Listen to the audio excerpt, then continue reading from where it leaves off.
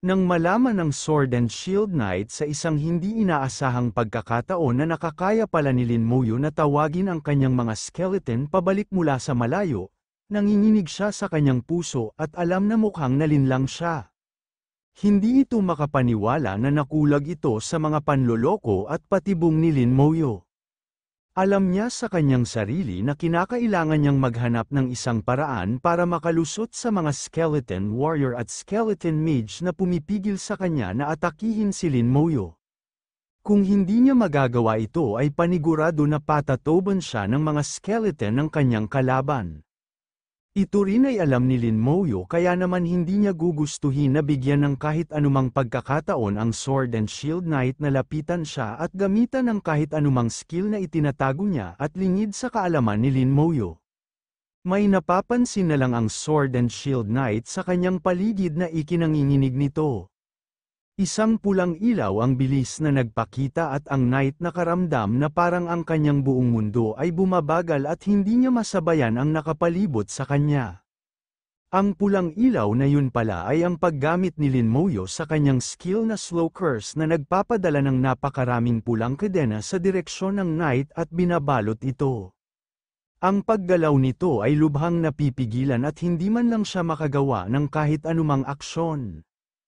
Ang mga paggalaw niya ay hindi kapani-pani walang napakabagal. Nang maintindihan nito na nasa ilalim na siya ng isang sumpa ay masyado nang huli para gumawa pa ng kahit anumang pangkontrang aksyon. Malalaman na lang niya na nasa ilalim siya ng isang curse mula kay Lin Muyo nang maramdaman nito na hindi siya makagalaw ng maayos. Sa isang kisap mata ay may dalawa na ang skeleton warrior na naglulunsad ng pag-atake nito sa Sword and Shield Knight. Bigla na lang na ang mga espada ng skeleton warrior na ito ay naging kasing bilis ng kidlat pero dahil na rin sa slowers ni Lin Muyo ay naging napakabagal ng paggalaw ng Sword and Shield Knight. Kasabay ng mga kidlat mula sa skeleton mage ni Lin Muyo lumulunsad na ang mga skeleton warrior na ito para tapusin ang laban.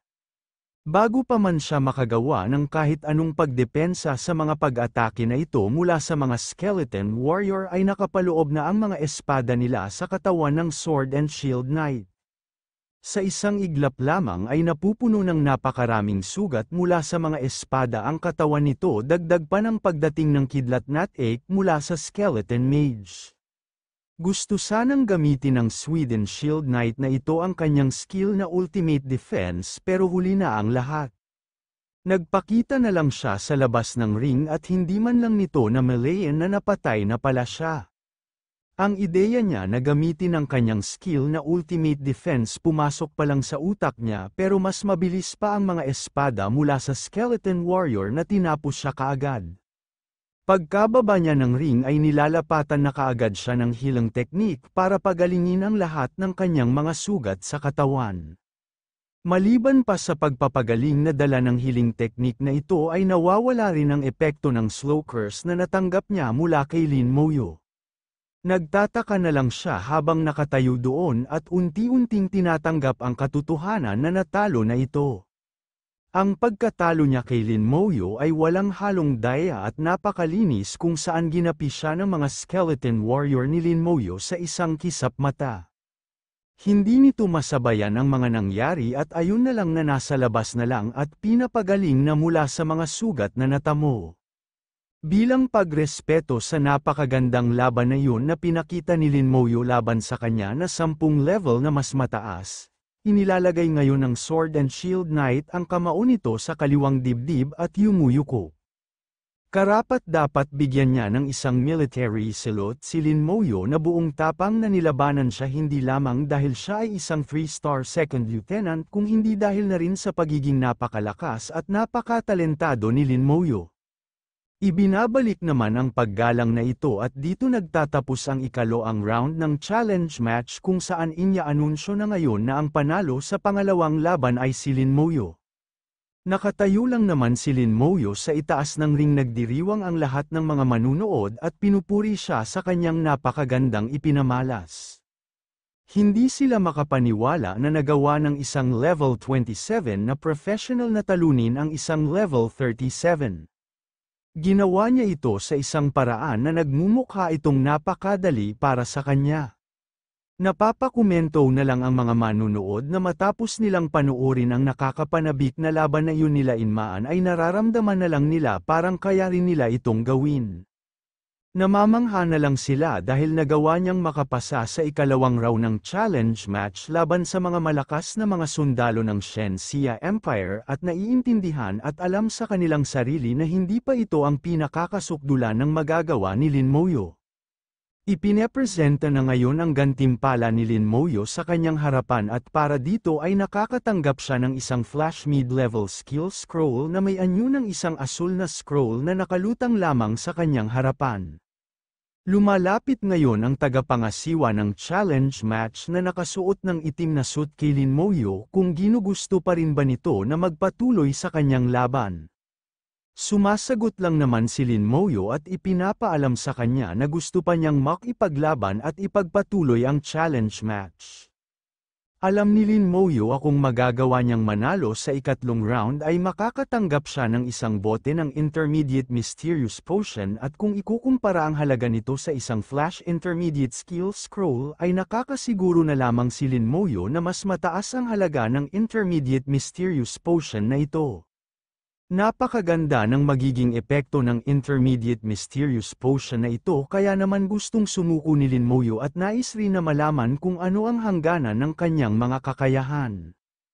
Kung magagawa niya na manalo sa ikatlong round ay magagawa na niya ang tapatan ang record para sa pinakamalayong narating sa challenge match. Para sa kanyang ikatlong laban ay nagpapakita ang isang level 42 na archer. Ang mga manunood ay hindi na lang makapaniwala ang isang level 27 na low-level na professional ay hahamunin ang isang level 42 na high-level profession. Ang archer na ito na nagpapakita sa harap ni Lin Moyo ay isang twice-evolved high-level archer. Nalalaman kaagad ng mga manunood na naroroon na ang taong ito ay isang 3-star second lieutenant kagaya ni Lin Moyo. Maliban pa rito ay nakasuot ang archer na ito ng isang set ng platinum equipment. Balot na balot siya nito at hindi ka makakakita ng mababang kalidad na equipment nito.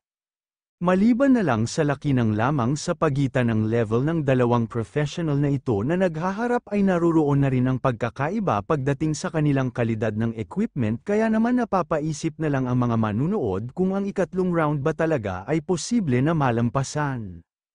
Sa pagkakaroon ng isang platinum-level battlefield suit ay napakaganda ng labas at momentum para sa archer. Ang pagiging isang twice-evolved na professional ay naglalagay ng napakalaking pagitan sa mga low-level at high-level ng mga professional pagkatapos ng ikalawang evolution ay lubos na tumataas ang taglay ng mga professional na ito na attribute at lahat ng klase ng skill na meron sila ay lumalakas rin. Sa pagtungtong din sa lagay na ito ay kakaroon sila ng pagkakataon na magawang makamaster ng mga malalakas na advanced skill. Dagdag pa rito ay ang kakayahan ng mga propesyonal mula sa level 40 na maaaring gumamit ng mga platinum level equipment. Ang suot pa ng sundalong ito na nasa harapan ni Lin Moyo ay isang platinum level battlefield suit na lubos na mas malakas kaysa sa mga ordinaryong platinum equipment. Dahil sa napakaraming pagsubok na nakapatong na kailanman ngayon ay napapakamento na lang ang mga manunood na kung ganito nakahirap ang ikatlong round ay hindi na lang nila may pinta sa kanilang mga isipan kung papaano pa ang ikaapat at ikalimang round. Ipinapaliwanag ng isa sa mga manunood na ang dahilan kung bakit wala pang nagawang manalo sa ikaapat na round ay hindi ganoon kasimple. Sinasabi nito na mula sa kanyang mga narinig ay napakakaiba ng ikaapat na round ng mga challenge at ito ay lubos na naiiba mula sa unang tatlong round kaya naman hindi na lang nakapagtataka na walang nakagawang magtagumpay na makalusot sa ikaapat na round. Silent Moyo naman na nasa loob ng ring ay naririnig ito na lang naman siya makapasok sa ikaapat o kaya sa ikalimang round pa. Alam niya makikita niya rin ito sa hinaharap, Nagtititigan ngayon ang dalawang propesyonal at napakatahimik ng archer kung saan ang mga mata nito ay napakatalas na parang kidlat at nakatuon ang pansin nito kay Lin Moyo. Sinisimulan na ngayon ang laban at kaagad na nagpapakawala ng tatlong palaso sa ere ang archer sa isang iglap. Ginagamit nito ang skill niya na tracking arrow, sinusundan ng mga palasong ito mula sa archer ang target nila hanggang sa tumama ito. Ang tatlong palasong ito na nababalot ng apoy ay mabilis na nagtutungo kay Lin Moyo. Hindi alintana ni Lin Moyo ang mga paparating na ataking ito at nakatayo lamang doon kasama ang kanyang mga skeleton mage na ipinalabas kaagad niya. Sa pagpapakulang ito ng archer ng kanyang mga palaso ay sinusumbatan naman ng mga skeleton ni Lin Moyo para kontrahin ito. Nagpapakawala ang dalawang skeleton mage ni Lin Moyo ng kanilang fire spell. Matapos na mapuksa ang mga palaso mula sa archer ay pinapasundan muli ng mga skeleton mage na ito silent moyo ng mga pag-atake. Pinapansin kaagad ng archer na ito ang pinaplano ng mga skeleton mage kaya naman ginagamit kaagad nito ang skill nito na archer clones. Mabilis umaatres ang archer at sa kanyang pag-atres ay naging tatlo ang kanyang katawan at iniwasan ang mga pag-atake sa tatlong magkakaibang direksyon. Sa ginawang ito ng archer ay nawawala ngayon ang target ng mga skeleton mage. Mabilis na lumulundag ang mga archer clone na ito sa lahat ng dako para lituhin ang mga skeleton. Muling nagpapakawala ng kanyang mga palaso ang archer at sinasalubong ang mga paparating na fire spell mula sa mga skeleton mage. Sa nangyaring ito ay napakaraming pagsabog ang nangyari. Ang mga magkakasunod na pagsabog ay maihahalin tulad na lamang ng mga manunood na parang batong nahuhulog mula sa bundok at nagpapakawala ng isang nakakabinging tunog. Sa nakita nilang pagsabog ay napapasabi na lang ang mga manunood na mukhang tapos na ang challenge match para kay Lin Moyo. Iniisip na lang nila na ito na ang katapusan para sa kanya dahil ang ataking napakawalan sa kanya ay nagmumula sa isang profesional na nagawang magpa-evolve ng kanyang profession ng dalawang beses. Nagpapadala ito ng kaunting kalungkutan sa puso ng mga manunood inaakala ngayon na tapos na ang paglalakbay ni Layman sa challenge match dahil bilang isang profesional na nasa level 27 at kahit nagaano pa man kalakas ang mga skill ni Lin Moyo ay hinding-hindi siya makakaligtas mula sa pag-atake ng isang high-level professional na nasa level 42 na tinanggap nito dahil kaagad siyang mamamatay. Sa paghupa ng mga alikabok na mula sa mga pagsabog ay sumisilip ngayon ang napakalaking buto ni Lin Moyo. Nanunumbalik ang pagkasigla ng mga manunood at napapansin ang defensive skill na ito na ginamit nila at iniisip na ito ang ginamit niya para depensahan ang mga trakang araw mula sa archer. Namamangha na lang sila dahil napakaastig ng armor na yun at sinasabi na mukhang ang propesyon na necromancer na taglayin ni Lin Moyo ay napakaganda dahil kaya nitong parehong umatake at dumpensa. Mukhang hindi nga talaga madaling mapuksa ang isang romancer dahil sa mga skill nito. Napapatunganga na lang ang archer sandali dahil hindi niya akalain na magagawa ng defensive skill na itinalaga ni Lin Moyo na makaligtas mula sa kanyang tracking arrow. Pinupuri na lang niya sa kanyang isipan na ang defensive skill na ito mula kay Lin Moyo ay napakalakas talaga. Para ipagpatuloy ang laban ay ginagamit ngayon ng archer ang kanyang napakabilis na agility para makipagsabayan sa mga skeleton warrior ni Lin Moyo. Ang tatlo sa kanyang mga archer clone ay nakikipagsayawan sa mga skeleton warrior ni Lin Moyo. Sa lahat ng mga profesional ay ang archer at mga assassin ang mga may pinakamataas na agility. Sa oras na ito ay ipinagpapatuloy niya ang paggamit ng kanyang mga archer clone at nagiging napakalikot sa loob ng ring. Ang bawat clone na ito ay napakabilis at ang bawat paggalaw na ginagawa nila ay nagkakaroon ng isang after image na ginagawang napakahirap na malaman kung ano ang totoo at hindi.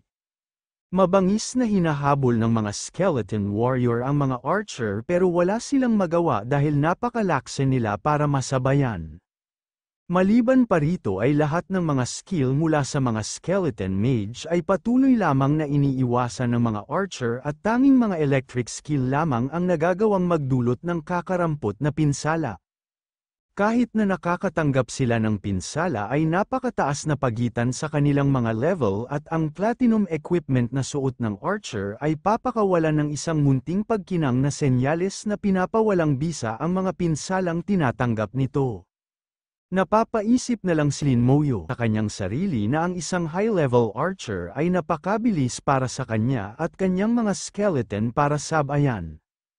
Alam niya na kailangan muna niyang pigilan ang kanilang mga paggalaw kung gusto niyang makipagsabayan. Alam niya na kung magpapatuloy pa sa pag-atake ang mga Archer clone ay magagawa nilang magpatama ng kanilang mga palaso kay Lin Moyo dahil na rin ang agility niya ay sobrang napakababa kung ikukumpara sa kanila. Dahil alam niyang hindi rin siya makakatakas at makakaiwas mula sa mga palasong ito ay tumayo na lang siya doon nang hindi gumagalaw at nakadepende na lang sa kanyang skeleton armor. Para pigilan ang napakaliliksing mga archer clone ay ginagamit ngayon ni Lin Moyo ang kanyang slow curse. Napupuno ng pulang liwanag ang arena at napapakawala na muli ang mga pulang tanikala na mabilis na pumupunta at nilalapitan ang mga archer clone. Sa isang iglap matapos na magamit ang slow curse ay bigla-bigla na lang na bumabagal ang paggalaw ng mga archer clone. Matapos na mapigilan ang paggalaw ng mga archer clone ay hindi na nagsayang pa ng oras ang mga skeleton mage at kinukuha ang pagkakataon para maglunsad ng napakaraming atake. Nang matanggap ng mga archer clone na ito ang pag-atake ay pumupulipot na lang ng kakaiba ang mga katawan nila. Matapos na makatanggap ng karapatang pinsala mula sa mga pagkatake ay sumasabog ang mga Archer clone at nagiging mag-isa na lang muli ang Archer. Naruroon pa rin siya at nakatayo habang napapabagal ang lahat ng kanyang mga paggalaw. Sa isang huling pagtatangka para makawala sa mga pulang tanikala ay ginagamit ngayon ng Archer ang kanyang skill. Itinutok niya sa itaas ang kanyang pana at nagsisimulang kuminang ang kanyang armas at mga palaso nito. Ang mga sinag ng ilaw na parang araw ay lumulunsad papunta sa himpapawid. Ginagamit ngayon ng archer ang skill nito na purifying arrow at nang bumaba ang mga palasong ito sa lupa ay nababasag ang mga pulang tanikala at nawawala ng epekto ang slow curse ni Lin Moyo.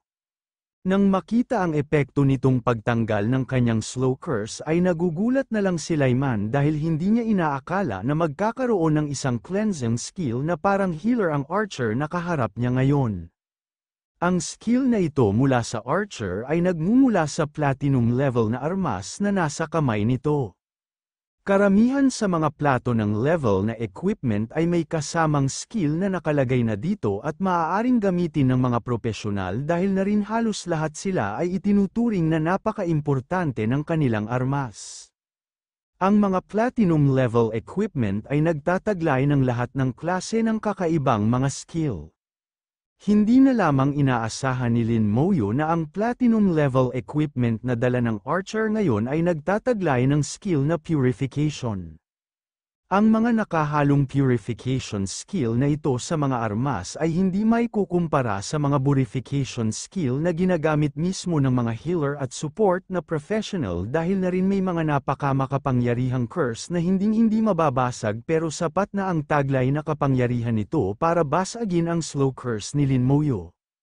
Ginamit muli ni Lin Moyo ng kanyang slow curse pero naruroon pa rin ang epekto ng purification at hindi ito gumana.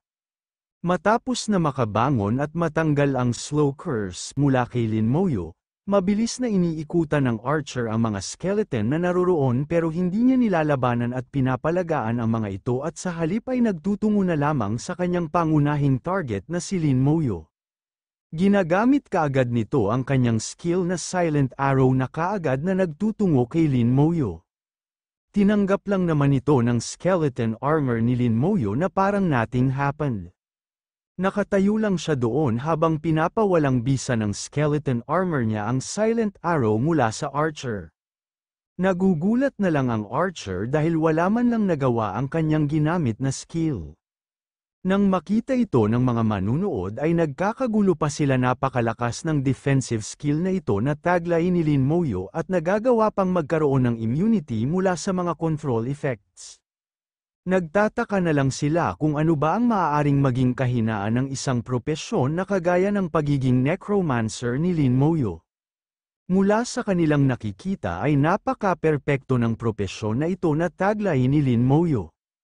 Ngayon na nakita na ng Archer na walang magagawa ang kanyang mga pag-atake laban sa skeleton armor ni Lin Moyo ay tumitigil na lang ito sa pag-atake at nakatayo kasama ni Lin Moyo ngayon sa loob ng ring. Nagtataka na lang ang mga manunood at hindi alam kung ano ang susunod na mangyayari dahil ang parehong panig ngayon ay haharap sa isang tabla at walang magawa ang bawat isa. Napapaisip na lang muna si Lin Moyo kung ano ang dapat niyang gawin at kung dapat ba siyang magtalaga pa ng mas maraming skeleton warrior. Alam niya na ang kanyang mga skeleton warrior ay hindi man lang makasabay at ang kalaban pa ay may taglay na purification skill kaya naman wala ring silbi ang kanyang slokers para pabagalin ang paggalaw ng archer. Napakaraming ideya ang pinagdaanan ng utak ni Lin Moyo hanggang sa nagdesisyon na lang siya kung dapat ba niyang gamitin ang kanyang skill na Soul Blaze sa archer. Iniintindi niya ang kanyang kalaban at nagdadalawang isip na gamitin ito dahil baka magiging napakasakit nito para sa archer. Ipinapalabas ngayon ni Lin Moyo ang kanyang asul na apoy sa kanyang palad. Sa kanyang paghahanda ng pag-atake ay ginagamit muli ng archer ang kanyang skill na archer clone para gawing tatlo ang sarili.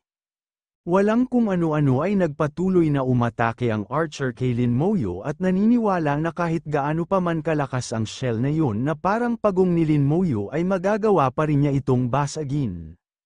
Mas pinapasiklab pa ni Lin Moyo ang kanyang Sword Blaze sa kanyang palad habang tinitignan ang kanyang kalaban sa mata. Ayaw niya sanang gamitin ang skill na ito dahil magiging napakasakit nito at parang unti-unting pinupunit ang kaluluwa ng kalaban. Napapabuntong hininga na lang si Lin Moyo at naaawa sa magiging kalalabasan ng kanyang kalaban at nag-aalala na rin para sa kanyang kalalabasan dahil ang kanyang skill na ito ay magdudulot ng napakatinding sakit na baka hindi niya makayanan. Alam niya ang magiging kalalabasan nito at walang sino man ang magagawang matiis ang sakit nito. Sa kanyang paggamit nito ay nababalot ang itaas na bahagi ng katawan ng archer. Napapahawak na lang ito sa kanyang ulo habang sumisigaw ng napakalakas dahil sa sobrang sakit na nararamdaman nito mula sa soul blades. Sa dalawang magkasabay na pagsabog ay nawawala ang dalawang Archer clone dahil nawawala ng kontrol ang master nila. Nakaramdam ng matinding takot ang Archer habang sumisigaw ng di mapigilan at nabibitawan ang kanyang armas. Ang mga manunood na nakikita na bigla na lang na nawawala ng kontrol sa sarili ang Archer ay nagtataka kung ano ang nangyari. Hindi nila maintindihan kung ano ang napanood nila at basta ang alam lamang nila ay may ginamit sila Lin Moyo na isang uri ng skill. Nalalaman na lamang nila na isa rin itong klase ng targeting na kagaya ng track ang araw ng archer kung saan humihinto lamang ang pag-atake kung nagawa nitong makaabot sa target o kaya naman ay masira ng kalaban. Humihingi ngayon ng tawad Silent Moyo sa kanyang kalaban habang patuloy na pinapasiklab ang kanyang apoy mula sa Soul Blaze. Ang Archer ngayon na nasa lupa at umuusok na rin habang punong-puno ng pasa ang mukha ay pinagpapawisan na lang ng sobra-sobra dahil sa sakit na nararamdaman. Sinusubukan niyang manggalkal mula sa kanyang isipan para malaman kung anong klase ng skill ang ginamit sa kanya nilaman na nagdudulot ng napakatinding sakit.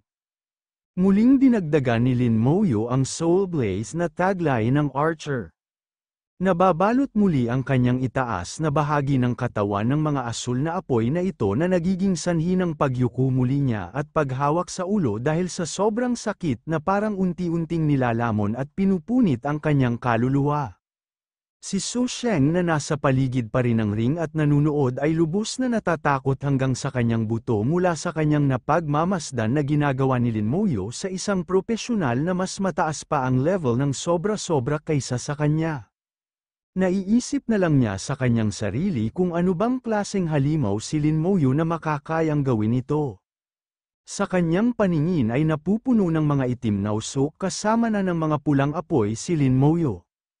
Pagkatapos na maubos ang lahat ng kanyang HP mula sa Soul Blaze ni Lin Moyo ay naipapadala na sa labas ng ring ang Archer. Kaagad siyang napapagaling ng hilang teknik na ginagamit sa kanya pero ang napakasakit na alaalang yun mula sa pakiramdam na ibinigay sa kanya ng Soul Blaze ay hindi mawawala.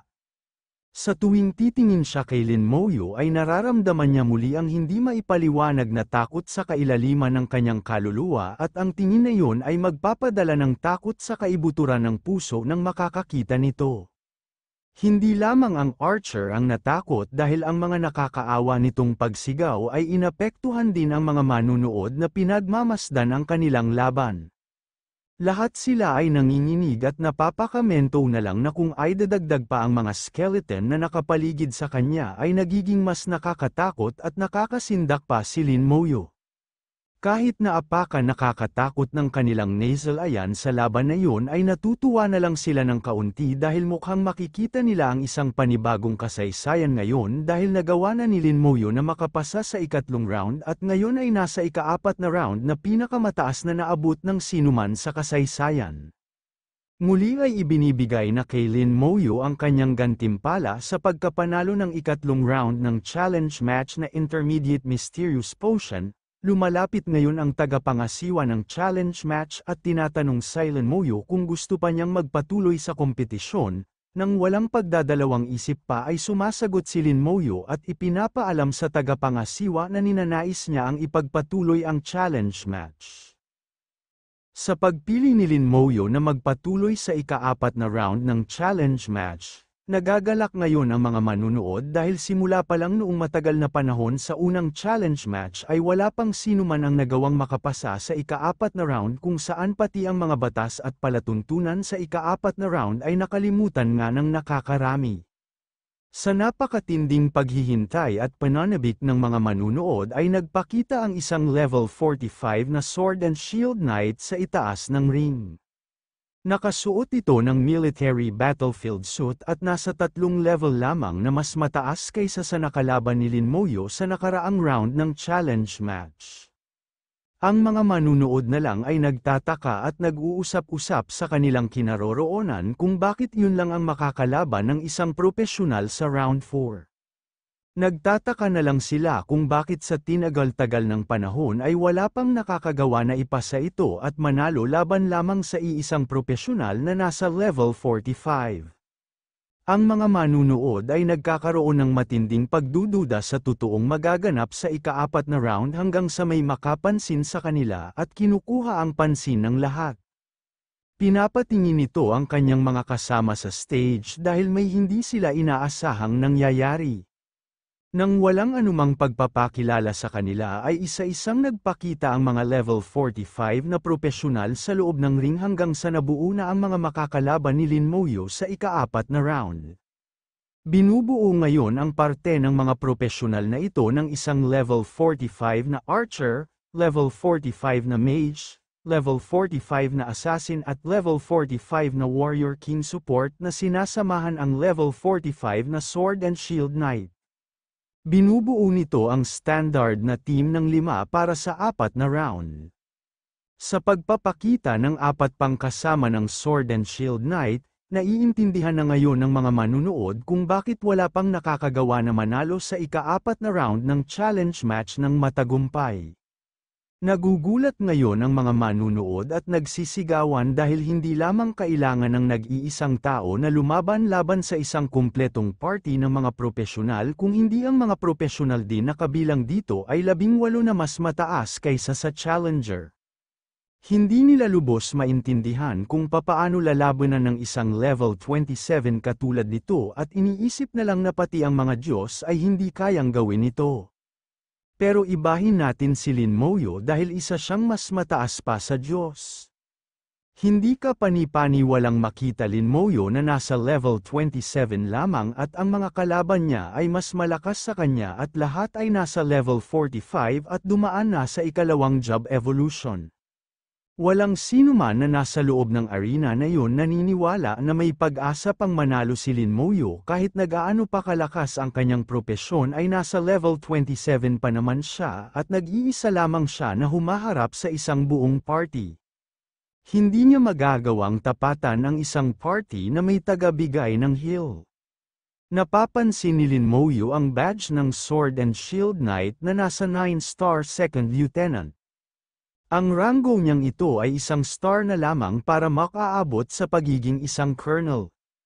Alam ni Lin Moyo na ang taong ito ay isang tunay na mandirigma na ginugol ang napakaraming taon para pumatay ng mga Abyss Demon at Abyss Monster sa loob ng battlefield at madaling malaman na ang klase ng taong ito ay napakalakas.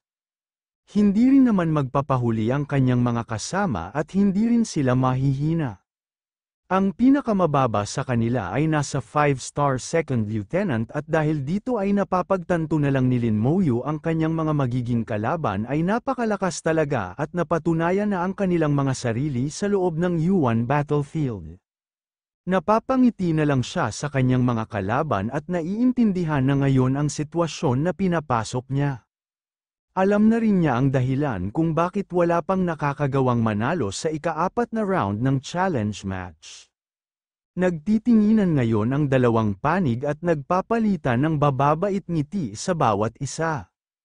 Hindi ito isang mapanliit na ngiti at isa lamang palitan ng pagbati dahil sa pagiging isang 3-star second lieutenant ni Lin Moyo.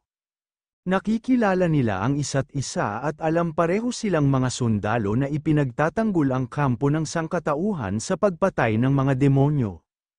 Ang sinumang nasa parehong panig nila ay kanilang mga kaibigan. Nagsisimula ngayong magsalita ang Sword and Shield Knight na pinupuri Silent Moyo sa kanyang pagiging napakagaling. Sinasabihan niya ang batang propesyonal na ito na dapat niyang ipagmalaki ang kanyang sarili sa pag-abot sa ikaapat na round ng challenge match dahil iilan lamang ang nagagawang makapunta dito. Sa napakabait na salitang ito mula sa Sword and Shield Knight ay ngumingiti si Lin Moyo at nagpapasalamat. Napakabihira para kay Lin Moyo na magsalita simula pa noong pumasok siya sa arena. Kahit na ganito pa man ang sitwasyon at walang naniniwala sa mga manunood ng mananalo siya ay company pa rin niyang ipinapahayag sa kanyang mga kalaban na gusto pa rin niyang manalo sa araw na iyon at patunayan ang kanyang sarili.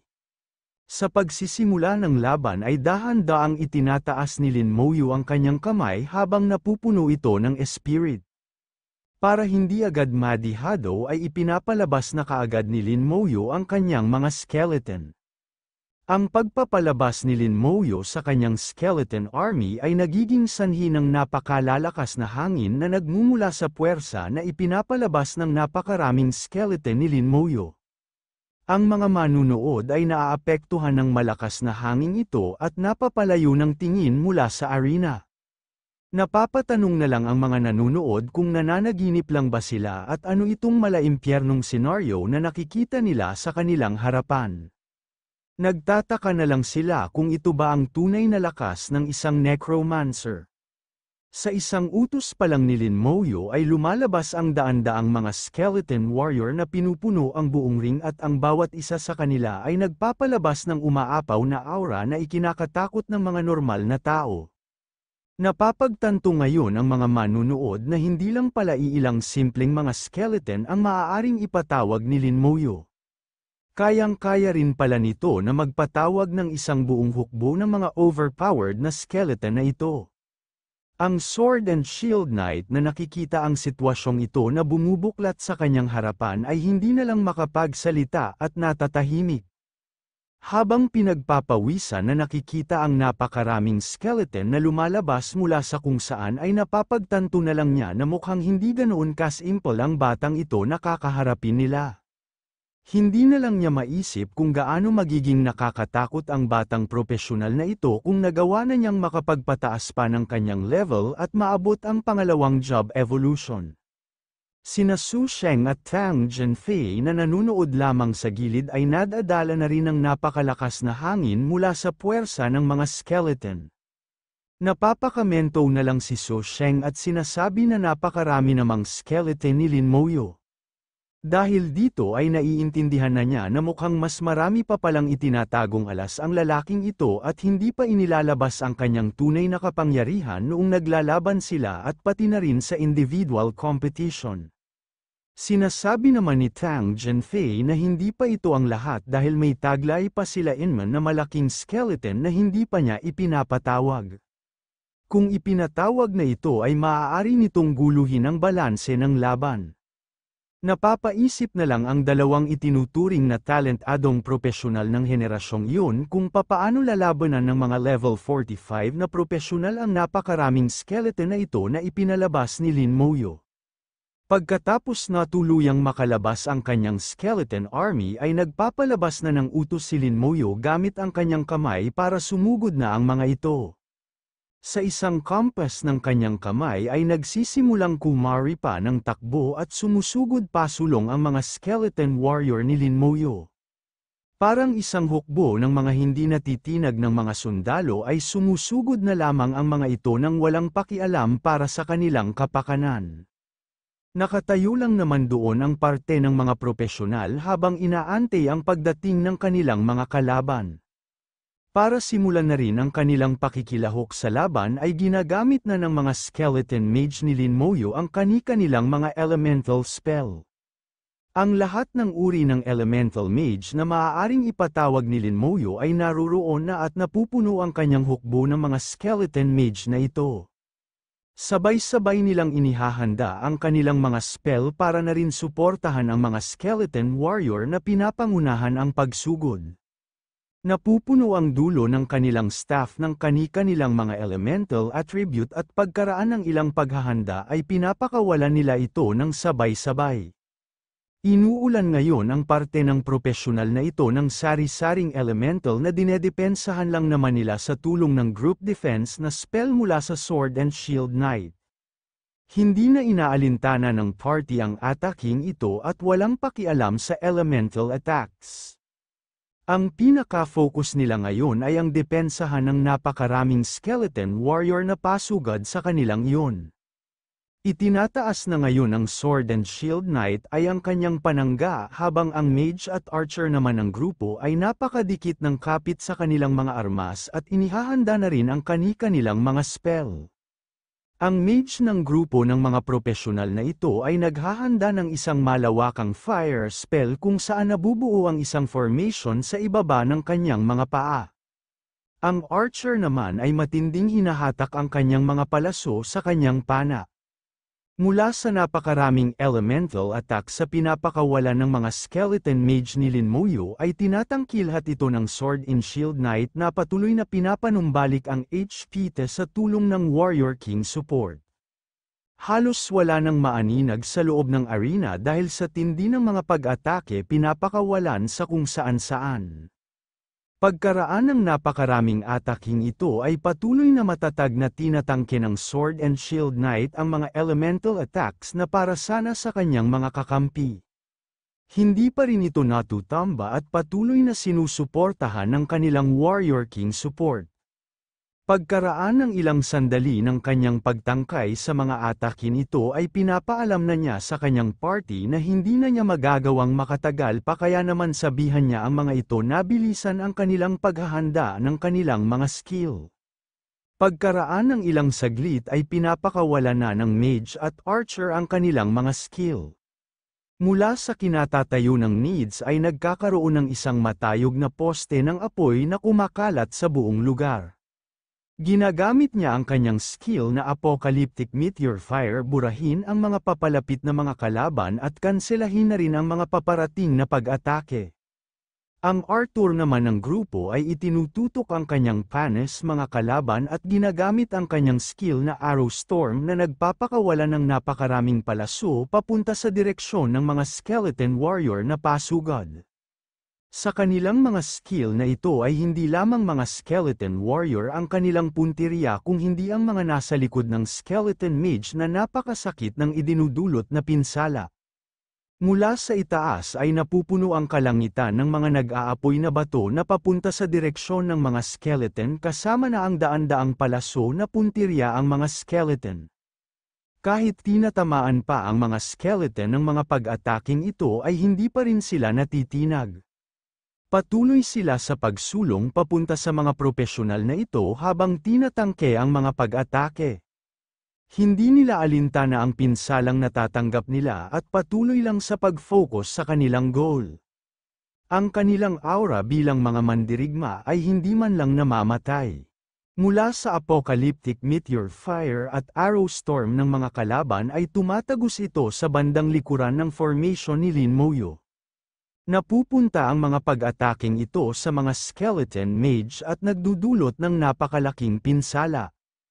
Hindi na nakakatagal ang ilan at nagpapakita na ngayon ang notification ng system at ipinapaalam kay Lin Moyo na isang skeleton mage ang nasira mula sa mga pag-atake.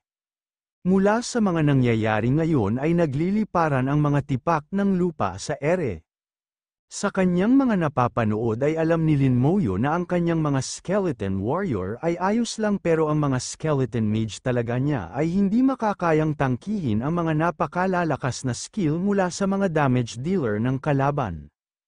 Para tangkahin patayin ng summoner ng mga pesting skeleton na kinakalaban nila ngayon ay nagdedesisyon ng assassin ng kalaban na diretsuhin na sa kinaroroonan ni Lin Moyo at patayin ito. Habang nakatayo lamang silent Moyo doon ay nakakaramdam siya ng isang presensya. Para tagumpay na makalapit sa kinaroroonan ni Lin Moyo ay ginagamit ng assassin ang kalaban ang kanyang skill na formless stealth na ginagawa itong parang anino at sinusundan si Lin Moyo. Napapansin kaagad naman ni Lin Moyo sa kanilang laban na nawawala ang assassin at nakutuban na aatake ito. Alam niya na kahinaan ng kanyang skeleton army ay siya mismo at kung mawawala siya ay siguradong magiging abo na lang ang lahat ng mga skeleton warrior na naruroon. Nagpakawala ng isang napakalakas na tira ang assassin ang kalaban kay Lin Moyo na kaagad na nagagamit ang kanyang skeleton armor para protektahan ang kanyang sarili. Ang kulay nilang pag-atake mula sa assassin ng kalaban ay napapawalang bisa lamang at hindi man lang nagdudulot ng bawas sa HP ni Lin Moyo. Nagugulat na lang siya dahil parang napakaselido ng kanyang tinamaan at parang hindi pa tumagos kay Lin Moyo ang kanyang pag-atake. Sa pagbitaw niya ng kanyang atake ay may napapansin kaagad siya na ikinagugulat nito ng husto. Pinagpapawisan siya nang makita ang dalawang skeleton warrior na hinahawakan siya kaagad. Hindi niya magawang makatakas sa pagkakahawak ng mga ito. Mabilis ang kanilang pag-aksyon para tulungan ang kanilang master at hinahawakan ang dalawang bisig nito para hindi makawala doon. Paniguradong bibigyan nila ng parusa ang kalbong ito para sa pagpunterya sa kanilang master. Habang hawak ng mga skeleton warrior ay agad na umaaksyon din ang mga skeleton mage para parusahan ang mahinang nilalang na ito na sinusubukang gumawa ng isang sneak attack. Pinapakawala ng mga skeleton mage siyang napakaraming kidlat sa kalbong ito at pinipendong ang ulo nito gamit ang napakaraming boltahe ng kuryente. Pansamantala lang nawawala ng malay ang assassin ang kalaban at hindi na lang makawala mula sa pagtanggap ng pinsala mula sa kidlat dagdag na rin sa paghawak sa kanya ng mga skeleton warrior. Nang mabawian na ng lakas at malay ay ginagamit na nito ang kanyang formless shadow para makawala doon. Nagiging kulay lila siya usok at nawawala mula sa pagkakahawak ng mga skeleton warrior.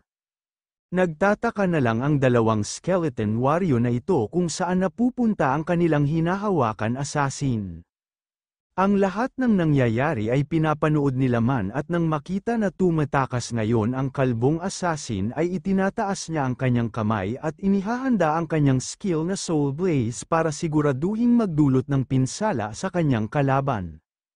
Hindi-hindi niya papayagan na makatakas ang siraulong ito na pinagtatangkahan ang kanyang buhay at parurusahan sa pamamagitan ng pagpunit ng kaluluwa nito ng unti-unti kagaya ng ginawa niya sa nakaraang Archer.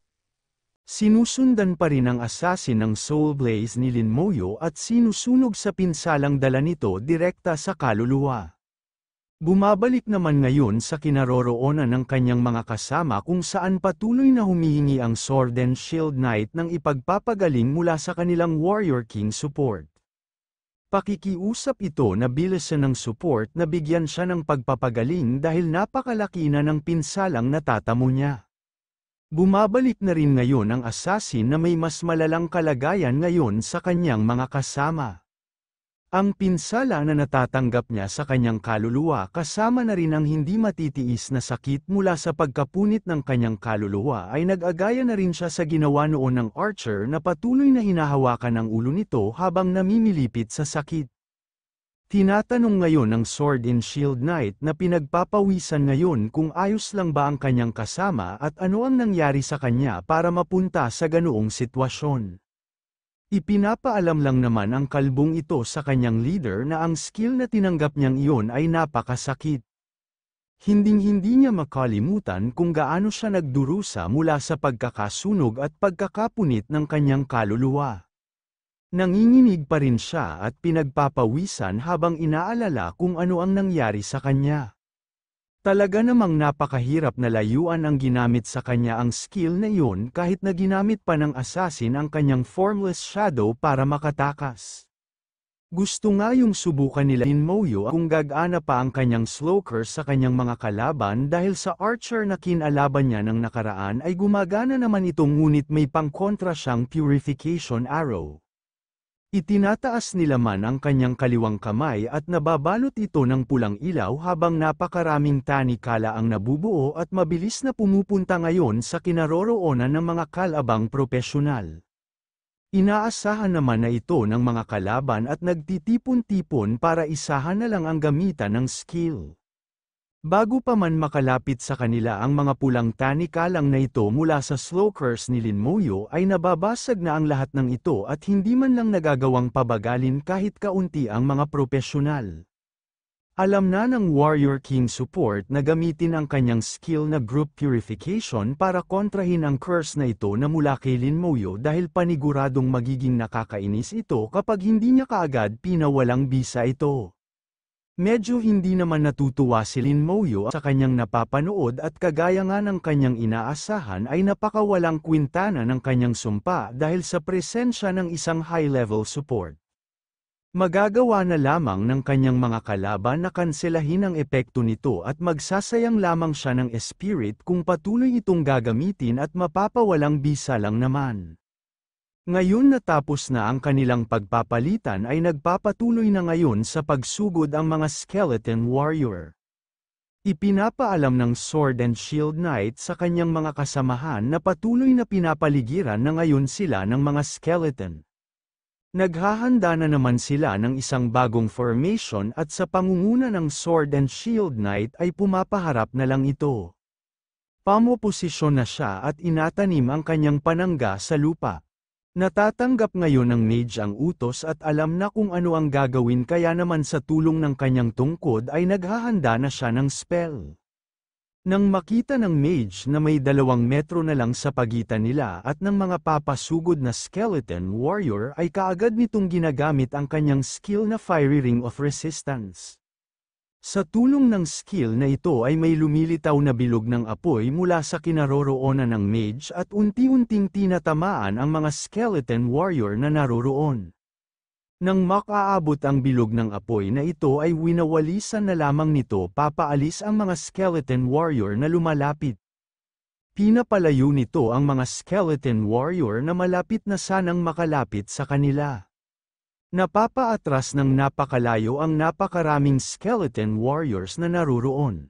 Sunod naman na gumagawa ng aksyon ay ang archer na ngayon ay ginagamit ang kanyang skill na chain arrow.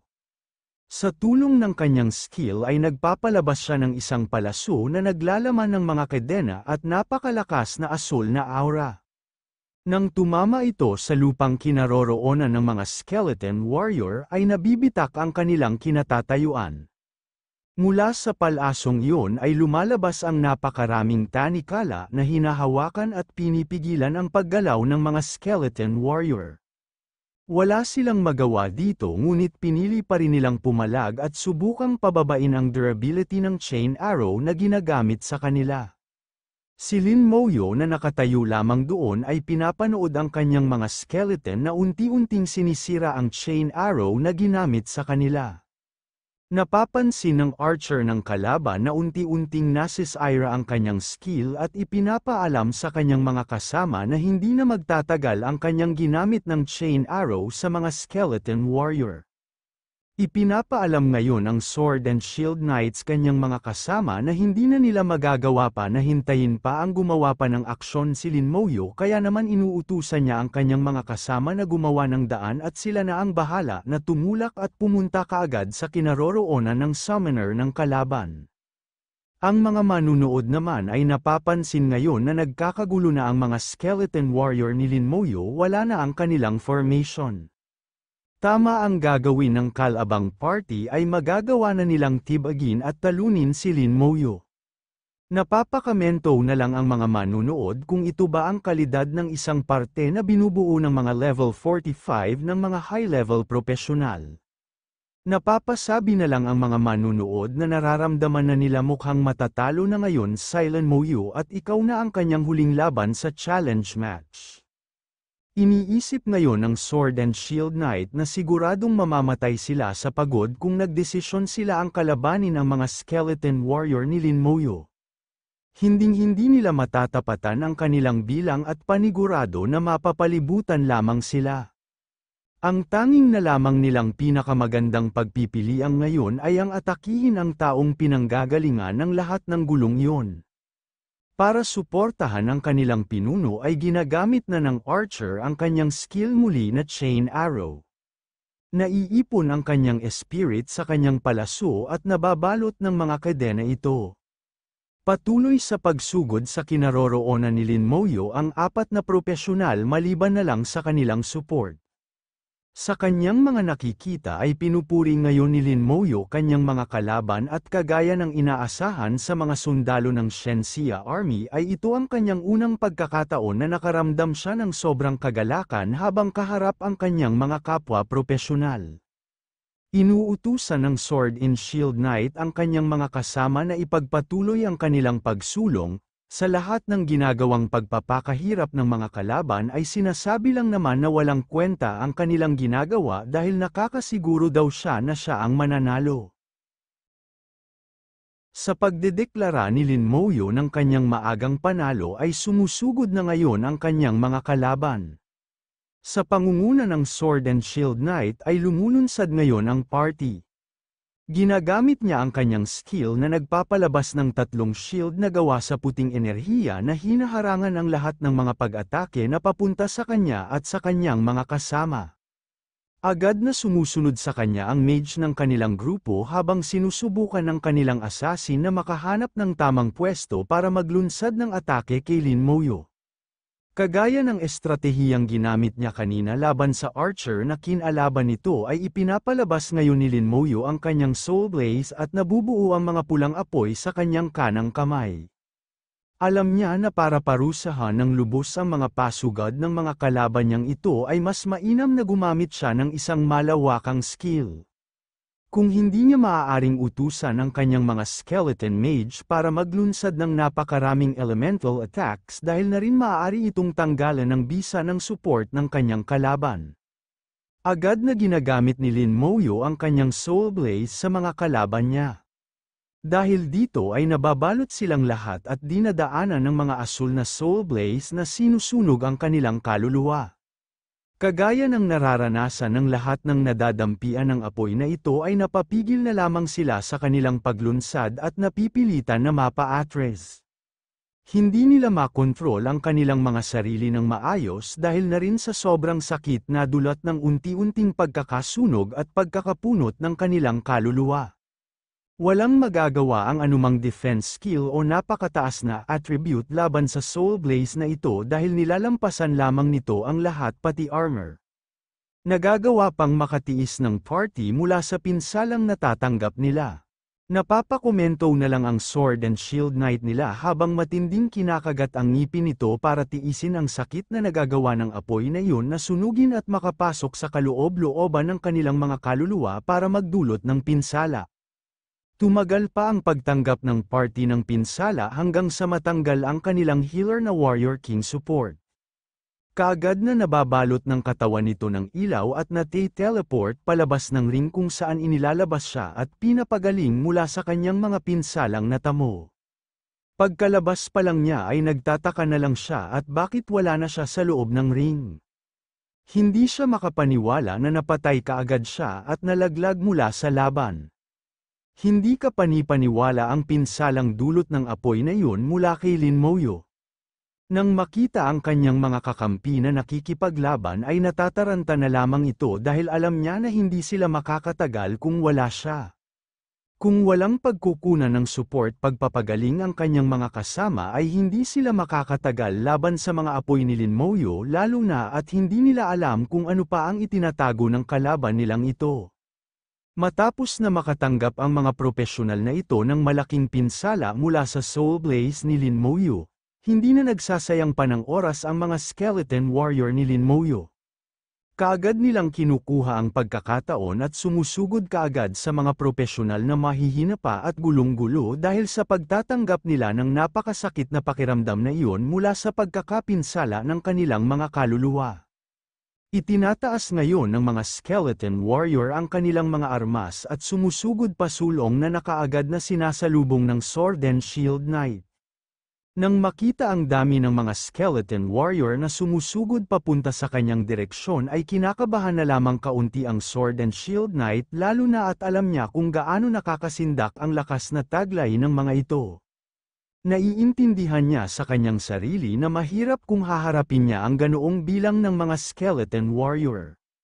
Ang lahat ng mga skeleton warrior ngayon ay mabilis na tumatakbo papunta sa kinaroroonan ng kanilang mga kalaban at hindi na nagagawang pigilan pa ng Sword and Shield Knight ang lahat ng papuntang kalaban sa kanila hanggang sa naabot na rin ng mga kalaban ang mage at iba pang mas malalambot na mga kalaban.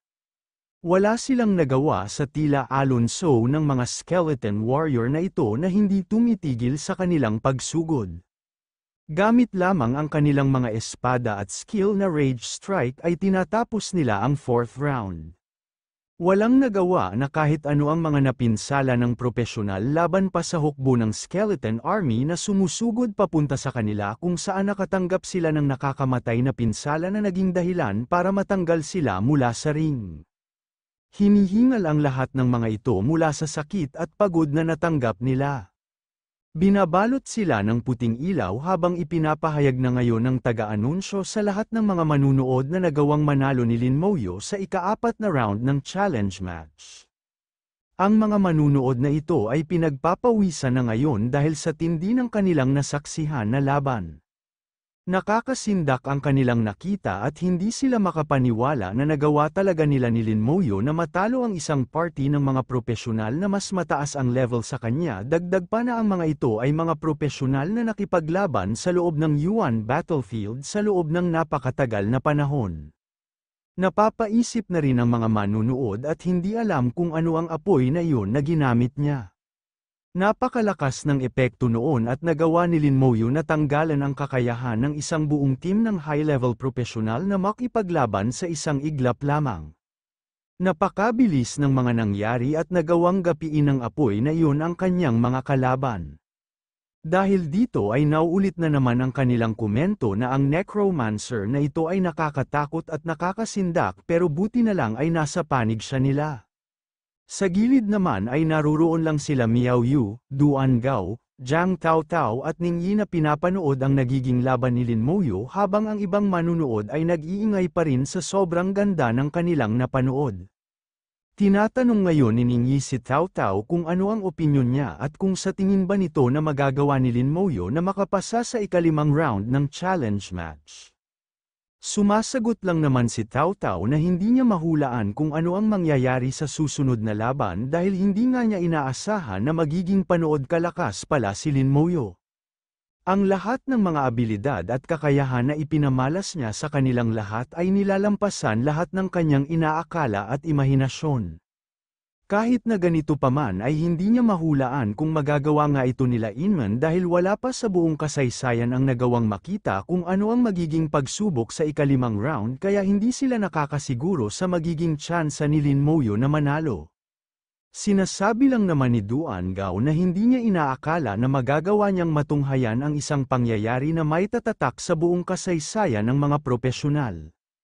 Sumasang-ayon naman sa kanyang opinyon si Miao Yu na siguradong maitatala ang pangalan ni Lin Moyo sa kasaysayan ng mga pinakamagigiting mga propesyonal at sa kasaysayan na rin ng competition ng mga propesyonal.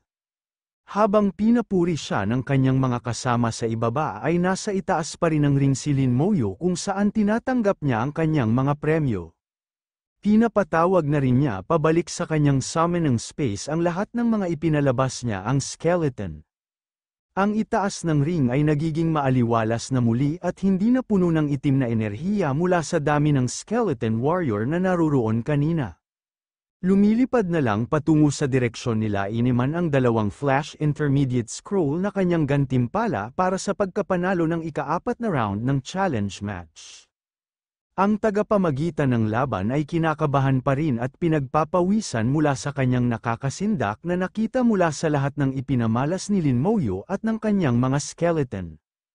Nanginginig itong tinatanong si Lin Moyo kung hinihiling pa ba niyang magpatuloy sa challenge match at lumaban pa sa ikalimang round nito. Nang walang pag-aalinlangan at handang makipaglaban ngayon ay sumasagot na lamang si Layman at sinasabi na gusto niyang magpatuloy sa ikalimang round ng challenge match. Ang mga manunood naman ay naruroon na lang at napapatulala ng marinig ang sinabi ni Lin Moyo na gusto nitong magpatuloy pa sa ikalimang round. Ang lahat ng mga naroroon ay hindi na makapaniwala na magagawa talaga nilang matunghayan ang fifth round ng challenge match na una pa lang na mangyayari sa buong kasaysayan ng kompetisyon ng mga propesyonal. Inaakala na lang nila na sinasadya ng mga tagapangasiwa ng kompetisyon na walang makakapunta sa limang round kaya naman napakahirap ng unang apat na round kaya naman hindi nila siguro inaasahan na may henyo na magagawang makapasok dito. Hindi rin nila alam na gagawa nilang makita ang bagay na ito ngayon. Habang nakatayo si Lin Moyo sa itaas ng ring ay i-anunsyo na ngayon sa lahat ng mga naroroon na ang fifth round ng challenge match ay magsisimula sa loob ng tatlong minuto kaya naman pinapayuhan siya na maghanda bago ito. Mula naman sa itaas ay nagsisimulang magsalita ang isang Grand Mage na may hawak na pulang tungkod at madaling mahulaan na lang na ang taong ito ay isang propesyonal na napakataas na nang naabot. Ipinapahayag ng Grand Mage na ito na ang magiging gantimpala para sa ikalimang round na iyon ay isang high-level magical potion at isang flash high-level skill scroll. Nang marinig ng mga manunood ang mga magiging gantimpala para sa ikalimang round ay nagugulat na lamang sila at nagkakagulo dahil nakikilala nila ang mga item na ito bilang mga high-level na mga kagamitan. Ang mga item na ito ay mga bagay na maaari lamang magamit ng mga propesyonal na nagawa ng maabot ang third job evolution ng kanilang propesyon. Dagdag pa ng mga item na ito ay hindi magagawang bilhin gamit lamang ang pera. Namamangha na lamang sila sa magiging gantimpala dahil hindi pa nga nagagawang maabot nila Inma ng ikalawang job evolution nito pero maayos na ang kanyang magiging daan at may mga item na na maaaring gamitin sa pagpapataas ng kanyang pag-asa na maabot ang ikatlong job evolution. Pati na rin Silent Moyo ay naroroon at nagugulat na lang nang marinig ang mga magiging gantimpala at hindi niya inaakala na lalabas ang dalawang item na yon. Hindi na lamang niya maitago ang kanyang pagkagulat dahil alam niya na sa hinaharap, ang hansa ng enlightening ng isang high-level skill ay napakababa na hindi masisiguro na may pag-asa pa na magawa ito kaya naman dito na pumapasok ang gamit ng flash skill scroll na sinisiguro na magagawa niyang makakuha ng mas magandang skill. Maliban pa sa Flash High-Level Skill Scroll ay naruroon na rin ang High-Level Magical Potion na nagagawang permanenteng pataasin ang lahat ng mga attribute ng 20,000 pagkatapos na inumin ng isang propesyonal na nagawang maabot ang third job evolution ng propesyon nito. Hindi matutumbasan ang halaga ng mga item na ito kaya naman hindi na nakapagtataka na ito ang magiging premyo para sa mananalo ng ikalimang round na matutunghayan lamang ng lahat sa unang pagkakataon. Dahil na rin sa mga premium ito ay naiintindihan na lang niya kung bakit sinabi sa kanya ni Bai Shen na ang challenge match ay ang pinakaimportanteng bahagi ng kompetisyon ng mga propesyonal. Sa sobrang laki ng halaga ng mga gantimpala na iniaalok ng ikalimang round ay alam na lamang ni Lin Moyo sa kanyang sarili na kinakailangan niyang makuha ang mga gantimpalang ito kahit ano pa man ang mangyari.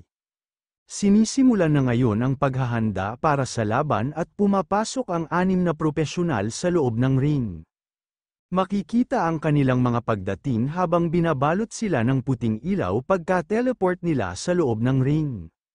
Nang makita ng mga manunood ang paglitaw ng mga ito ay napapansin kaagad nila na ang lahat ng mga makakalaban ni Lin Moyo para sa ikalimang round ay mga level 50 na rare professional na punong-puno ng mga mage.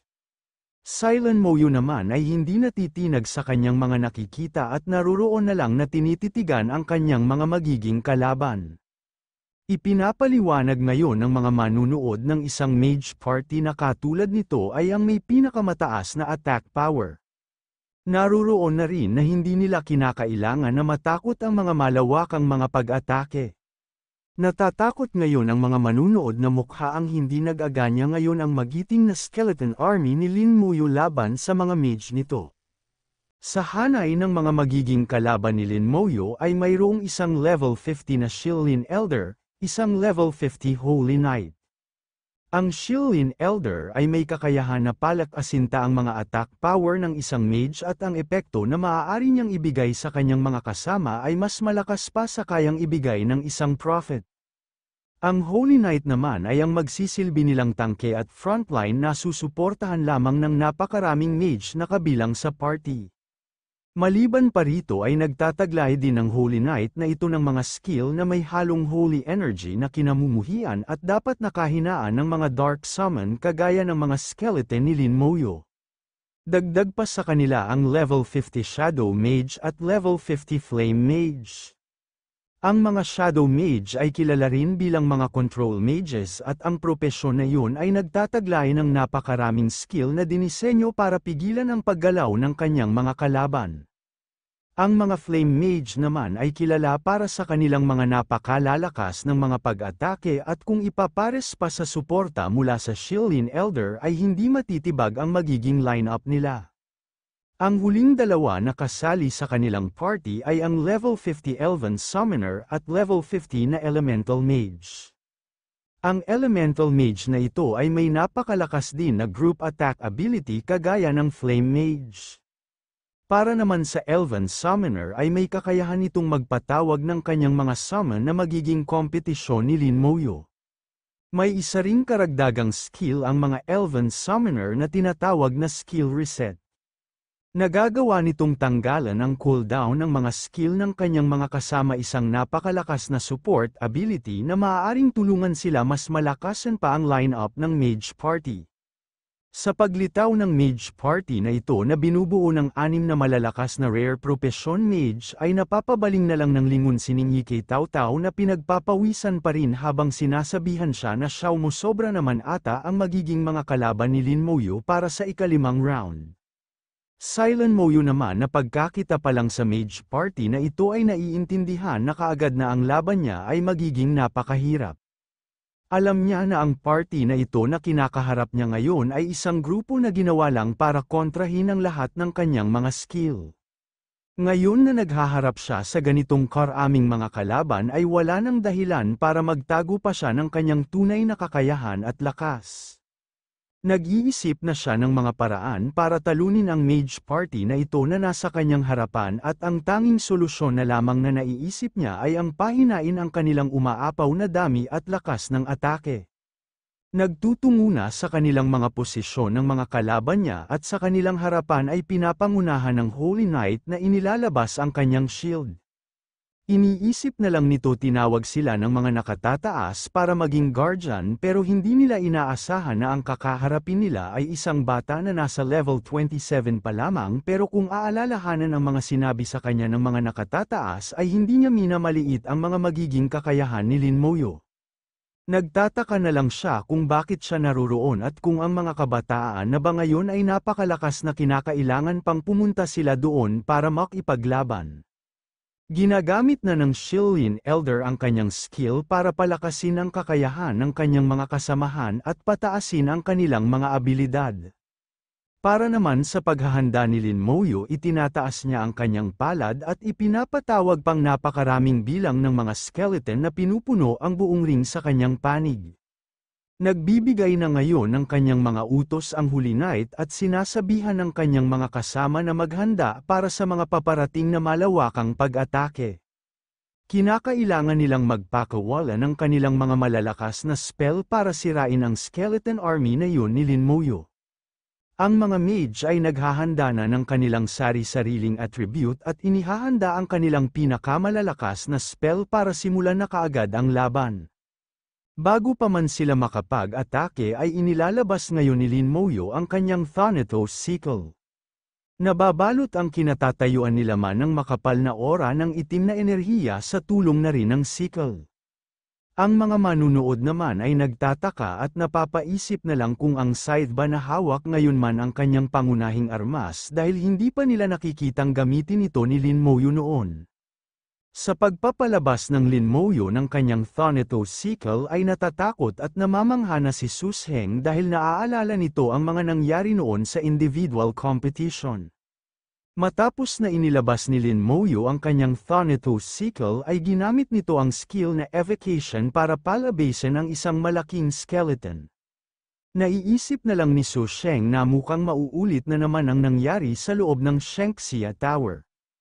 Sa panig naman ng Mage Party ay dinadagdagan pa ngayon ng Shilin Elder ang kanyang mga enhancement para palakasin ang kanilang mga status kagaya ng Magic Power Enhancement, Magic Inspire, elemental boost, at rapid casting. Sa tulong ng mga blessing na ito ay mas tumataas pa ang mga attack power ng mga mage na kabilang sa party. Ginagamit ngayon ng mga mage ang kanilang skill at para sa flame mage ay ginagamit niya ang kanyang skill na apocalyptic meteor fire. Sa shadow mage naman ay ginagamit nito ang skill na slumber and cloud at para naman sa elemental media ay ginagamit nito ang skill nito na descending fire rain. Para naman sa Elven Summoner ay ginagamit nito ang skill nito para magpatawag ng isang puting summoned beast sa tabi nito. Ang summoned beast na ito ay may anyo ng isang lobo na may maliit na sungay sa ulo nito. Pagkatapos ng iba tawag ang summoned beast na ito ay naghahanda naman na muli ng kanyang bagong skill ang Elven Summoner na skill reset. Kumikinang ng napakaliwanag na puti ang summoned beast ng Elven Summoner pagkatapos niya itong gamitin at ang lahat ng mga skill ng mga miyembro ng parte na iyon ay nauulit. Sa tulong ng skill na skill reset ay tatanggal ang cooldown ng mga skill nila at nagagawa nila muli itong gamitin sa loob ng maikling oras. Maaari na muli silang gumamit ng kanilang mga malawakang atake para polanan si Lin Moyo at ang mga skeleton nito. Nakikita ngayon ni Lin Moyo ang napakaraming bola ng nag-aapoy na bato na paparating sa direksyon niya at ng kanyang mga skeleton kung saan hindi pa naman siya kinakabahan at nakatayo lang doon.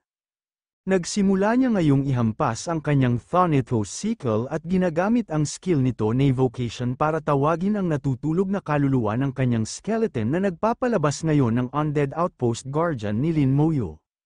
Mula sa kanyang paanan ay nabubuo ang may itim na enerhiya na pinanggagalingan ng Undead Outpost Guardian. Parang isang tore na pinagmumukhang napakaliit si Lin Moyo ang lumilitaw sa likuran nito.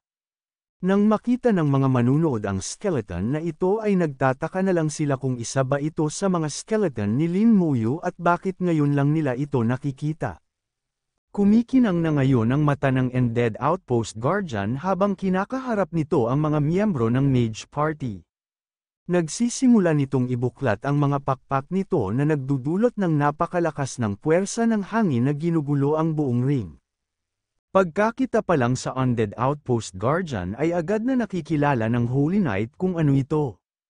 Hindi na lang siya makapaniwala sa pagpapakita nito at tinatanong Silent Moyo kung anong klaseng biro ito na ipinapakita nila sa kanilang lahat dahil kung huhulaan niya ay ang kaharap nila ngayon ay ang boss ng Hell difficulty level ng Outpost Dungeon. Sunod naman na ginagamit nila ng kanyang Thanatos Circle para ipatawag ang kanyang Undead General at mula sa lupa ay tumataas ito habang hawak ang kanyang malaking battle mace. Inuutusan ngayon ni Lin Moyo ang kanyang undead general para pamunuan ang kanyang mga sundalong skeleton, agad naman itong pumupunta sa harapan at pinamumunuan ng lahat ng mga skeleton warrior na naroroon. Nauuna sila sa harapan ng undead outpost guardian at walang takot na sumusugod papunta sa kanilang kalaban gugulat na lang sa dami at laki ng mga itinatagong alas ni Lin Moyo. Sa pagdating ngayon ng mga sunod-sunod na pag-atake mula sa ibabaw ay tinatamaan ngayon ang mga skeleton warrior ni Lin Moyo. Hindi nila nakakayanan ang napakalakas na damage output na nagmumula mula sa apocalyptic meteor fire kasama na ng iba pang elemental attacks mula sa mga mage. Hindi na rin nagawang pabalaikan pa nila ang mga skeleton warrior niya sa kanyang summon ng space kaya naman nasisire na lang sila at nababasag ang mga buto nila.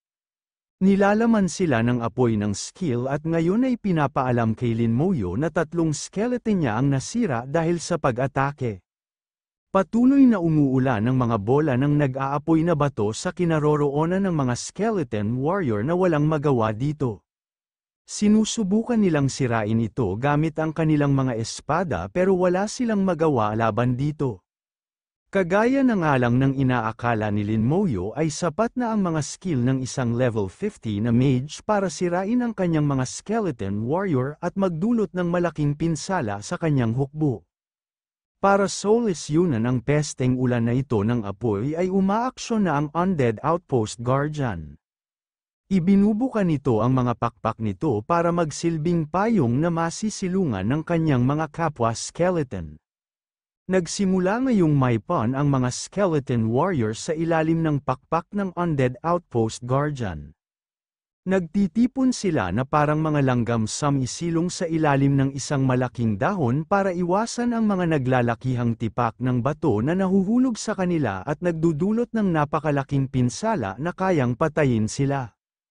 Ibinubuka ng Undead Outpost Guardian ang mga pakpak nito na tinatakpan ang lahat ng mga skeleton warrior na nasa ibaba kasabay ng pagluhod nito.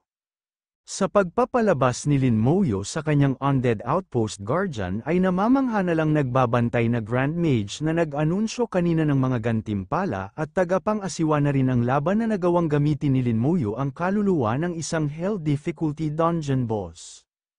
Hindi niya inaakala na magkakaroon ng isang necromancer ng ganitong klase ng skill at gamitin sa kanyang sariling hukbo ang boss ng isang dungeon.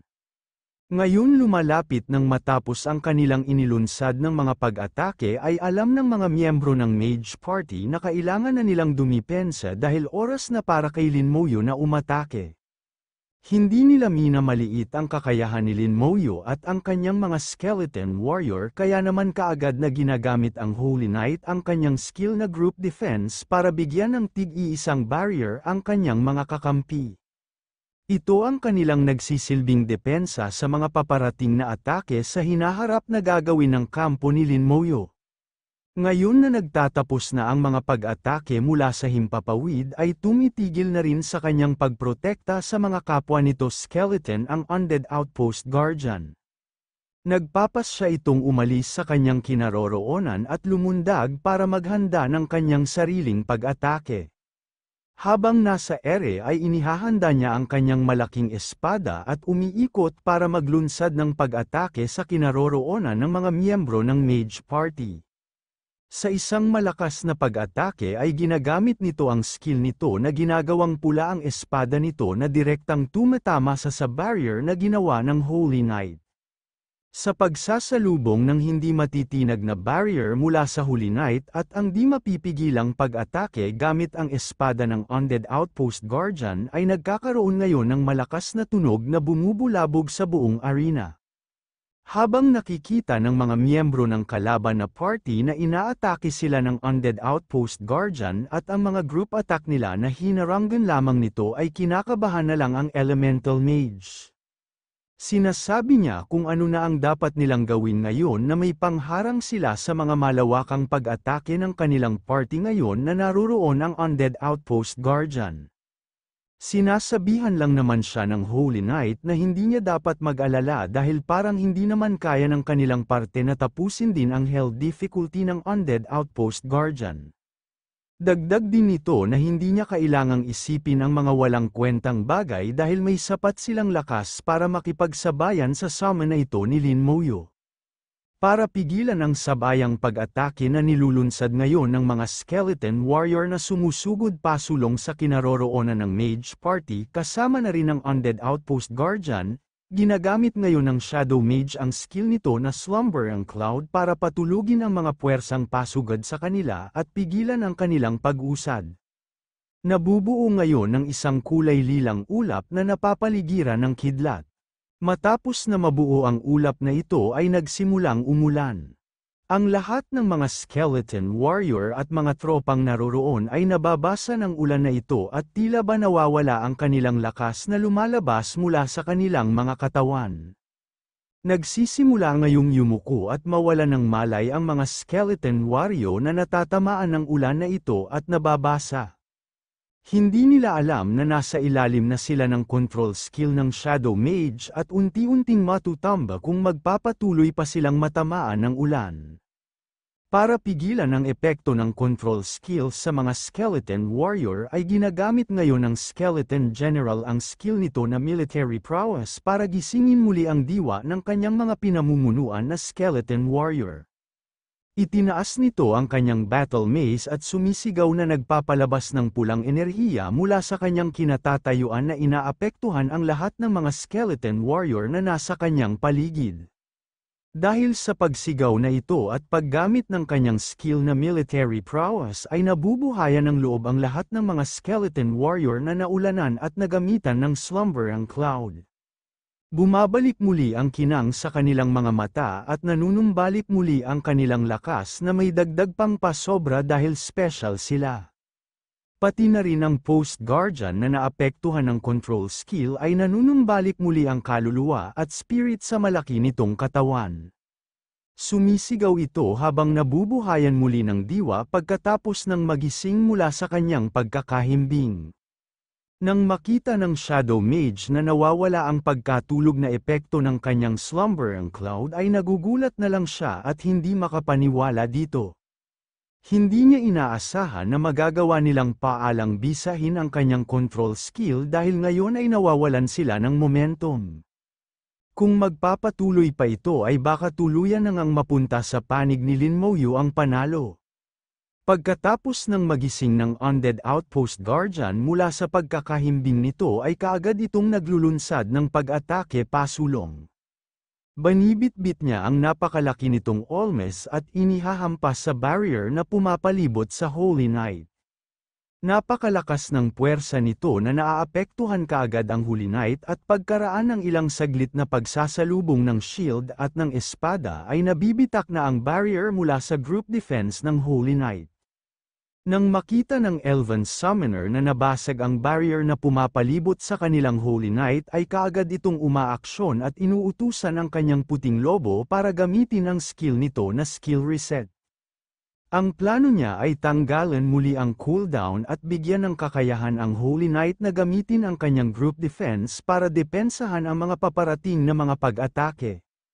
Dahil na rin sa skill na ito ay nanunumbalik ang kakayahan ng Holy Knight na gamitin ang kanyang skill na group defense at itinataas muli ang kanyang panangga na gumagawa ng isang gintong barrier sa paligid nito. Nagugulat na lang Silent Moyo nang bigla muling may skill ang alagang puting lobo ng Elven Summoner. Hindi ka panipaniwala ang maikling cooldown nito na nagagamit muli niya para pabalaykan ang skill ng Holy Knight at depensahan ang pag-atake ng kanyang undead outpost guardian. Alam niya sa kanyang sarili na kung gusto niya ang talunin ng mage party na ito ay langan niya munang patayin ang summoned beast na yun mula sa elven summoner. Pati na rin ang kabilang panig ay napapagtanto na walang kwenta kung uunahin muna nila napaulanan ng mga pag-atake ang mga skeleton warrior ni Lin Moyo at tangkahing ubusin sila dahil naroroon ang presensya ng undead outpost guardian na maaari lamang tangkehin ang mga malawakang pag-atake na papakawalan nila. Kung magpapatuloy lamang ito ay baka maubusan pa sila ng spirit. Nagbibigay ngayon ng utos ang Holy Knight na subukan naman nilang atakihin ang pangunahing tao na punot dulo ng lahat ng ito ngayon para subukang talunin siya. Kaagad na sumusunod ang mga maids at naghahanda ng kanilang mga pag-atake ang Flame Mage, Shadow Mage at Elemental Mage. Pagkaraan ng ilang saglit ng kanilang paghahanda ay pinapakawalan nila ng sabay-sabay ang mga pag-atake. Nauunang dumating ang apocalyptic meteor fire mula sa flame mage na nagpapadala ng mga apoy na bato sa kinaroroonan ni Lin Moyo. Ginagamit at itinatalaga ngayon ni Lin Moyo ang kanyang skeleton armor para depensahan ang mga pag-ataking ito. Habang paparating ang mga bola ng apoy ay napapaisip na lang sila Inman kung makakayanan ang kanyang skeleton armor na depensahan ang maramihang pag-atake na nagmumula sa mga level 50 na mage. Nang makarating na ang mga pag-atake ay nilalampasan lang naman ang mga bola ng apoy o kaya naman ay tumatalsik lang ang mga ito sa skeleton armor ni Lin Moyo. Napapagtunto niya na sapat na ito para depensahan pero napapansin niyo rin na nagkakabitak-bitak ang kanyang skeleton armor sa pagtanggap ng napakalaking pinsala mula sa mga malawak ang pag-atake mula sa mga mage. Kahit na ganito pa man na nababasag ang kanyang skeleton armor ay hindi siya nagkakaproblema dahil marami naman ang kanyang spirit kaya maaari niyang sunod-sunod na gamitin ang kanyang skill na skeleton armor para protektahan ang kanyang sarili mula sa mga ibabato ng mga kalaban. Sunod naman na dumadating ang skill na swamp mula sa Shadow Mage na nagtatangkang pigilan ang mga paggalaw ni Lin Moyo at pabagalin ito. Agad na napapansin nila Inmaan ang pagtatalagang ito ng skill at paglingon pa lang niya sa likod ay nakikilala na ito ang skill ng Shadow Mage na Swamp. Para tanggalan ng bisa ang Swamp skill ng Shadow Mage ay tinatawag ngayon ni Lin Moyo ang kanyang mga Skeleton Warrior sa loob mismo ng Swamp skill. Mula sa ibaba ay nagsisimulang lumitaw ang mga Skeleton Warrior na pinapalibutan Silent Moyo. Matapos na makalabas ang kanyang mga skeleton warrior ay tumatapak paalis ng katawan ng tubig si Lin Moyo at tumatapak sa kanyang mga skeleton warriors. Bumubuo ng isang information ang kanyang mga skeleton warrior na tumatayo sa loob ng swamp sa halip na si Lin Moyo. Ito kaagad ang naisip na solusyon ni Lin Moyo para hindi siya maapektuhan ng control skill. Sa formation na ito ng kanyang mga skeleton warrior ay tinututok nila ang kanilang mga espada paarap na nagsisilbing daanan ng kanilang master. Hindi nila alintana ang control skill mula sa song dahil mga undead summon naman ang mga ito. Sa ginawang pagpapasa walang bisa ni Lin Moyo sa mga control skill ng Shadow Mage ay sumisigaw na lang ito at naiinis dahil sa tulong ng kakaibang defense skill S na ginagamit man na skeleton armor ay walang kwenta ang kanyang mga control skills sa kanya at hindi man lang siya maaaring makulong gamit ang swamp skill. Sa pangunguna ng Skeleton General ni Lin Moyo ay pinapalakas muli nito ang diwa ng kanyang mga Skeleton Warrior at inuutusan na sugurin ang mga kalaban. Kaagad na sumusunod ang mga Skeleton Warrior at pinapalibutan ang kinaroroonan ng Holy Knight. Sunod-sunod nilang ginagamitan ng kanilang range strike at mga normal na atake ang barrier hanggang sa magkaroon ng opening sa depensa nito. Hindi na nga nagagawang tagalan ng barrier ang mga pag-atake kaya naman nagsisimula na ngayong matakot ang Holy Knight na baka mapasok sila. Ipinapaalam niya sa kanyang kasama na Elven Summoner na malapit nang mabasag ang kanyang depensa at kailangan na nitong gamitin ang kanyang skill na skill reset para tanggalan ang cooldown at hayaan siyang gamitin muli ang skill. Kung hindi ay baka tuluyan na ngang makalapit ang mga skeleton warrior at magdulot sa kanila ng matinding pinsala.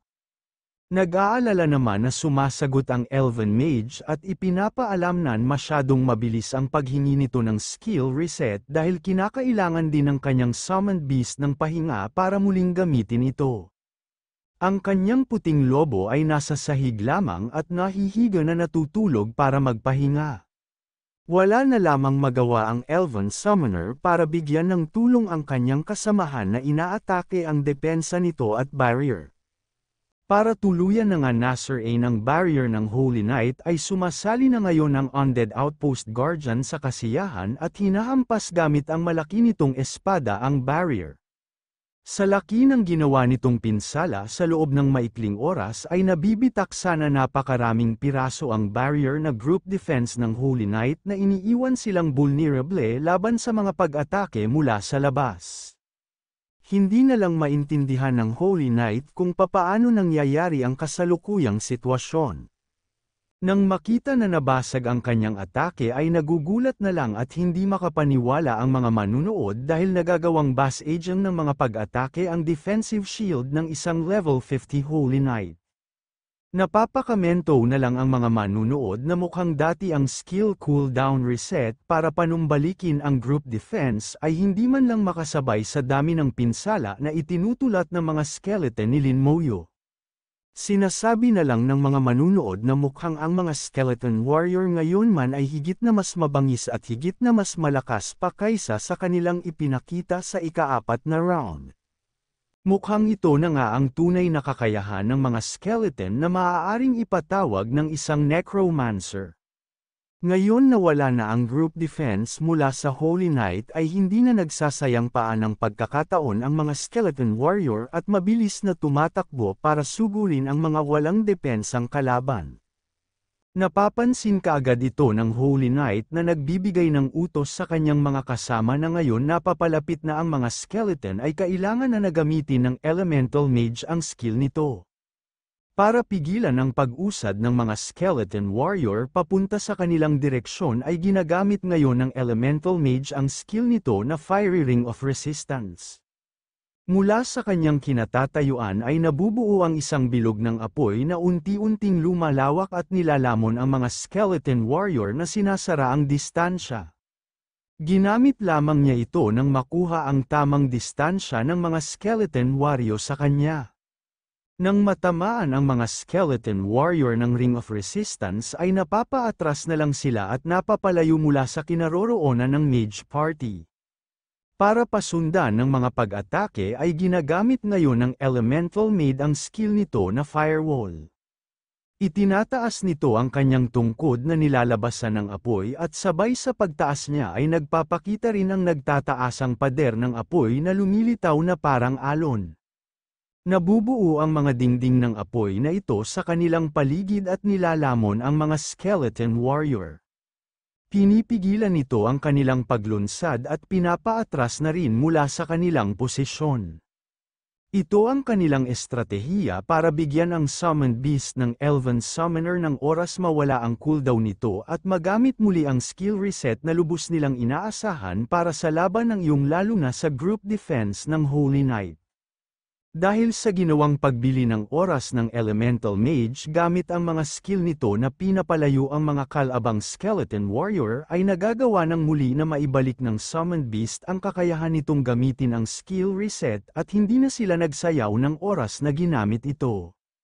Nababalot ng mapusyaw na asul na kulay ang kinaroroonan ng Mage Party matapos na gamitin ng Elven Summoner ang skill ng alaga nito para pabalaykan ang skill ng kanyang mga kasamahan at depensahan muli ang mga paparating na atake.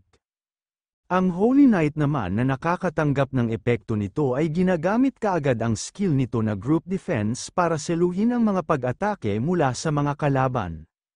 Natutuwa ngayon ang Holy Knight sa mga resulta ng kanilang pagtutulungan at nagawa nilang gamitin ang skill reset.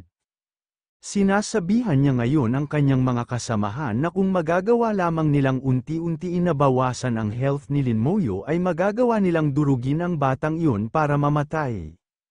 Kung ipagpapatuloy lang nila ang kanilang ginagawang stratehiya ay siguradong mananalo rin sila.